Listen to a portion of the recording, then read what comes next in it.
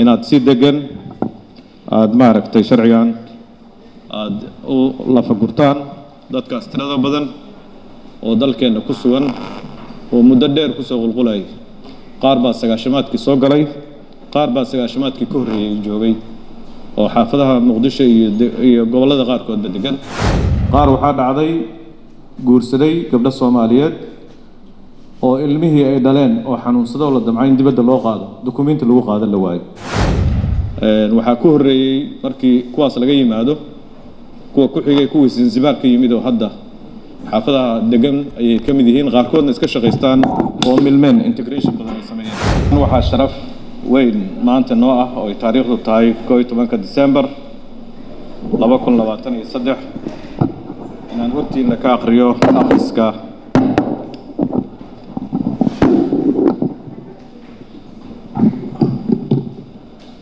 inaan hortiina ka akhriyo akhriska koowaad ee hindisa sharciyeedka qaxootiga iyo magangelyadoonka waxaan rajaynayaa in kelimadda qaxooti iyo magangelyadoon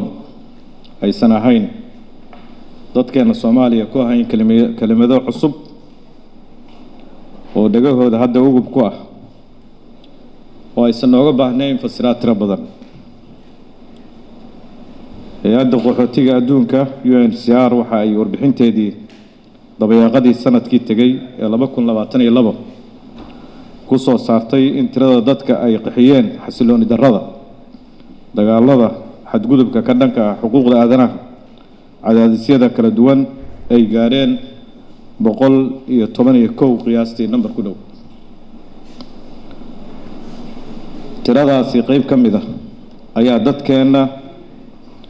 soomaaliyeed ah oo daafaha dunida tegay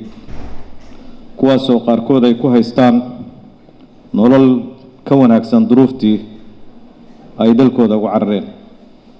Sidaasi si la mid ah qaar kale oo ka mid ah dadyowga adduunka ku nool ama deris ahaadaan ama dalal kale ha ahaadaane ayaa dalkeenna soo maciinsaday oo yimid kuna maantana ku ah qaxooti iyo magangelyadoon sidaas awgeed oo waxaa la tilmaamaa weliba boqol iyo tobanka hadda aan sheegnay boqol toban iyo afar in sebtember sanadkan boqol toban iyo afar milyan ay ahaayeen dadka hadda qaxootiga ku ah dunida. Sidaas awgeed ayaa keentay ahamiyadda uu leeyahay hindis sharciyeedkan hindis sharciyeedkan wuxuu ku salaysan yahay qodobka soddon iyo toddobaad ee dastuurka kumeel gaarka oo ka hadlaya qaxootiga iyo maangelyadoonka iyo sidoo kale shuruucda iyo heshiisyada caalamiga ah ee la xiriira arrimaha qaxootiga iyo maangelyadoonka oo ay soomaaliya dhinac ka tahay oo ku faahfaahsan qeybta dambe ee ararta hindis sharciyeedkan. Labo hindis sharciyeedkan wuxuu ka mid yahay hindis sharciyeedyadii uu baarlamaankii tobnaad gaar ahaan golaha shacabka يا لي أو آخر سيسة دحادة سوغو مرايا ومدحيلات كيو دماضي كدي مركي وقت كيو دماضانا إن دبلو سعليه حكومة دا دان قران سي مركة للوهر جيو. ويوان سعيان بارلمان كوبي تفناد لبدي ساقل. إن دي الشرعية كان وحو مركة لسو مري حبر عيدي ديارنتا إن دي الشرعية دي دالكا وحنا سوهو بيهي قريقان كقودة دولة وزارة عدالة دا يدستوركا حافيز كرئيس الوزارة. Kadibna golaha wasiirada ayaa ansixiyey. Kadibna aqalka golaha shacabka ayuu soo maray sidii sharcigu ahaa oo soo ansixiyey. Kalfadhigiisii hore. Hindis sharciyeedkan wuxuu ka mid yahay laba hindis laba sharci oo saldhig u ah. Howlo badana uga xayiran howlo badanna uga xayiran hay'adda qaxootiga barakacyaasha qaranka iyo guud ahaan dowladda soomaaliya oo lagu dhisay sharci lamber zero eber labo iyo laba kun iyo lixdii hay'addii la dhisay. Sharciga labaad ee hay'addan waa hindis sharciyeedka ilaalinta iyo taakulaynta barakacyaasha oo hadda hor yaalla golaha shacabka. Way isla socdeen laakiin arrimo farsamo ayuu dib ugu dhacay. Sida muu ka muuqata magaca sharcigan ujeeddadiisa ugu weyn waxaa ka mid ah laba ujeeddo waaweyn buu leeyahay. Kow in sharcigan uu noqdo xeer iyo qaanuun guud oo lagu nidaamiyo lagu nidaaminayo loona adeegsado aqoonsashada ilaalinta xuquuqda iyo maareynta guud ee qaxootiga iyo maangelyadoonka iyo in iskaashi caalami ah laga yeesho guud ahaan arrimaha la xiriira qaxootiyada iyo maangelyadoonka sida aqoonsigooda dib u sharcisiintooda ama dib u celintooda iyo wixii la mid ah. Mudana guddoomiye senatarada sharafta leh mudanayaal iyo marweyn hindisa sharciyeedkan waxaa lagu magacaabaa hindis sharciyeedka sharciga qaxootiga iyo maangelyadoonka ee laba kun labaatan iyo saddex wuxuuna ka kooban yahay toddoba cutub iyo soddon iyo siddeed qodob. Cutubka koowaad oo ka kooban shan qodob wuxuu ku saabsan yahay cinwaanka oo kooban magaca sharciga awoodda soo saarista iyo baaxadda iyo dhaqan iyo baaxadda dhaqangalka erey bixinta ujeedooyinka sharciga mabaadi'da hagaysa sharcigan iyo wixii la mid ah. Cutubka labaad oo isna ka kooban laba qodob wuxuu ka hadlayaa xuquuqda iyo waajibaadyada ku saabsan arrimaha la xiriira maangelyadoonka iyo qaxootiga awood bixinta maangelyada ama qaxootinimada xiriirka iskaashi ee ka dhexeeya hay'adda qaxootiga iyo hay'adda qaramada midoobay u qaabilsan arrimaha qaxootiga cutubka saddexaad oo isna ka kooban sagaal qodob wuxuu ku saabsan yahay habraaca soo codsashada go'aaminta iyo aqoonsashada qaxootinimada. Xuquuq u lahaanshaha in la dhagaysto mamnuucidda in xaaladaha qaar tallaabo sharci ah laga qaado codsadaha shuruudaha uu aqoonsashada qaxootinimada aqoonsashada koox qulqul ballaaran iyo ilaalin kumeel gaar ah dejinta magangelyadoonka iyo qaxootiga u diididda qaxootinimada kala noqoshada qaxootinimada iyo wixii la mid ah.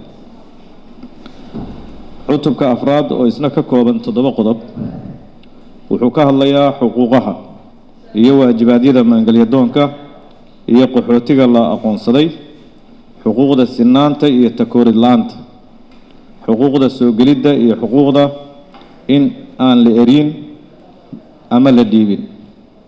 xuquuqaha iyo waajibaadyada maangelyadoonka xuquuqaha qaxootiga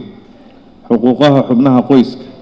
ilaalinta gaarka ah ee helayaan kooxaha nugul dib u celin khiyaari ah. Waajibaadyada maangelyadoonka iyo qaxootiga dalka cayrinta qaxootiga marka ay jiraan xaalado qaar xabsi ku-hayn ku meel gaar ah muddada la sugayo cayrinta jinsiyad siinta iyo wixii la mid ah cutubka shanaad oo isna ka kooban afar qodob wuxuu ku saabsan yahay guddiga go'aaminta qaxootinimada dhisidda guddiga ka kooban sagaal xubnood oo wasaaradaha iyo hay'adaha dowladda ah howlaha guddiga guddi hooseedyada guddiga go'aamada iyo hadal qoraalada guddiga iyo wixii la mid ah. Cutubka lixaad oo ka kooban saddex qodob wuxuu ku saabsan yahay golaha racfaanka qaxootiga dhisidda iyo xubnaha uu ka kooban yahay golaha racfaanka howlaha iyo awoodaha golaha racfaanka u ogolaanshaha dib u garsoor ciddii aan racfaanka ku qancinaya wixii la mid ah. Sideed cutubka toddobaad oo isna ka kooban afar qodob wuxuu ka hadlayaa qodobo gebagaba ah sida shuruucda aan loo adeegsan karin qaxootiga xeer nidaamyaal nasakid shuruuc dhaqangalka sharcigan mudana guddoomiye senatarada sharafta leh mudana yaali marwooyin ugu dambeyntii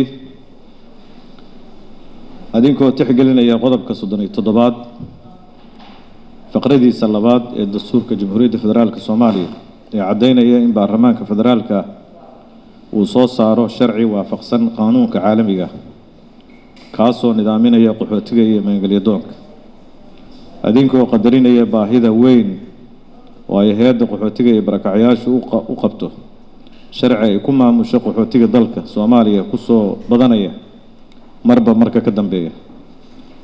Oo hadda tiradiisa ay u dhexayso soddon iyo shan ilaa afartan kun oo qaxootiya oo dalal badan oo qaar derisa iyo qaar aana deris ahaynba ka kala yimi idinkoo sidoo kale qadarinaya beesha caalamka ee kaalmaysa arrimaha qaxootiga iyo maangelyadoonka ay diyaar ula yihiin hay'adda qaxootiga kaalmo xog farsamo iyo xog kaleba xag kaleba haddii sharcigan dhaqangal noqdo adinkoo qadarinaya in sharciyeedkan ay soo ansixiyeen golaha shacabka ee baarlamaanka federaalka soomaaliya waxaan si qadarinaya xushmad mudan idinkaga codsanayna oo aan idinkaga rajeynaya in kadib marka aada waajibkiina dastuuriga ah ka gudataan aada ansixin doontaan inta lagu guda jiro kalfadhigan afraad sharciga hindi sharciyeedka qaxootiga iyo maangelya doonka si uu ugu dambeyn u noqdo sharci dhaqangal ah oo jiri oo jiristiisa dad badan oo dalkeenna ku sugan ay ku helaan nidaam lagu kala habeeyo ama lagu siiyo xuquuqdooda asaasiga ah. Sidaas awgeed waxaan xoojinayaa oo adkeynayaa inaad si degan aada maaragtay sharcigan aada u lafagurtaan dadkaas tirada badan oo dalkeenna ku sugan oo muddo dheer kusoo qulqulayay qaar baa sagaashamaadkii soo galay qaar baa sagaashamaadkii ka horreeyey joogay oo xaafadaha muqdisho iyo gobollada qaarkoodba degan waxaa ku horreeyey markii kuwaas laga yimaado kuwa ku xigay kuwii zanzibaar ka yimid oo hadda xaafadaha degan ayay ka mid yihiin qaarkoodna iska shaqaystaan oo milmeen integration badan ay sameeyeen waxaa ku xigay dagaalada ka socda deegaamada qaar waddamada qaarkood walaalaheen carabka ah oo weliba xuduud dhow lahayn ay ka mid yihiin. Dadka soomaaliyeedna markay dalkaas ku sugnaayeen si fiican loo tixgelin jiray. Waxaa ka mid ah dalka labaad baan u malaynayaa oo qaxooti soomaaliyeed martigeliyey oo dalka yemen ah. Oo ayagana dad badan ay nooga yimaadeen markii dalkooda tobankii sano u dambeysay xasilooni darradu ay ka dhacday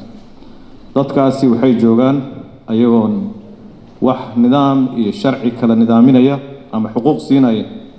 Aysan jirin hay'adihii qaxootiga qaabilsanaa ee kaalmeyn lahaana meel loo soo maro aysan lahayn ayagoon sharci dalka uusan lahaynna aysan soo fargashin karin. Qaar waxaa dhacday guursaday gabdho soomaaliyeed oo ilmihii ay dhaleen oo xanuunsadoo la damcay in dibadda loo qaado. Dukumiinti lagu qaado la waayo oo ay dhacday gabar soomaaliyeed oo nin dadkaas qaxootiga ka mid ah ilmo uu ka dhalay oo xanuunsan wadnaha ka xanuunsanaa inta la damcay in la kaalmeeyo in la kaalmeyn waayo qaab loo kaalmeeyo la waayo warqadihii qaxootinimadana aan la siin oo dalku uusan sharcigaas uusan lahayn isla markaasna dalka sharcigiisu uusan qorayn gabar maaragtay ilmo ay dhashay in sharci la siiyo ninkaasna dee dalkiisii qaxootiga uu yahay oo asaga laftirkiisu uusan dukumiintiba haysan marka dhibaatooyin intaas noocaas oo kale ah oo badan baa la soo gudboonaata sharcigan marka muhiimaddaas weyn buu leeyahay runtii waxay ahayd sanadii laba kun iyo labaatankii inuu inta maro dadkaas maanta ay haystaan xuquuqdooda laakiin nasiib xumo dib buu u noqday oo shuruucdii dib loo celiyey ayuu ka mid noqday asagoo akhriskii saddexaad oo weliba codayntii la joogo in aan la codayn maalinkaasoo la yidhi berri aan isku soo laabanna wixii ka dambeeyena golaha shacabku uu fariisan waayey. Marka aad iyo aad baa u mahadsantihiin waxaan hubaa in senataradu qaarkood ay og yihiin duruufta hadda aan ka hadlayno oo dadkeennu ay qurba qaar ka mida ay yihiin. Lagu soo macaashay la og yahay xuquuqda lagu haysto dalalkaas maxkamadaha iyo racfaanka sida loo qaadan karo. Qaarkoodna hadda ay heer sareba ay ka gaareen. Marka aad iyo aad baa u mahadsantihiin waxaan rajaynaynaa kalfadhigan in tixgelin inkastoo howlo badan oo hortamin leh ay jiraan. Haddana in lagu daro howlaha hortaminta leh ayaan idinkaa codsanaya waa mahadsantihiin waafi app waa application casri ah oo kaa qabtiraya adeegyada maaliyadeed sida saad sahal efc balas xawaalad taaj bangiga iyo adeeg isgaarsiinta oo kuu suurtagelinaya inaad soomaaliya qiimo jaba ku soo wici kartid. Waafi waxaa ku isticmaali kartaa gudaha dalka iyo daafaha dunida. Waafi app kala soo deg app storeka ama balistoreka waafi isku xidhaha qaranjoogta iyo qurbanjoogta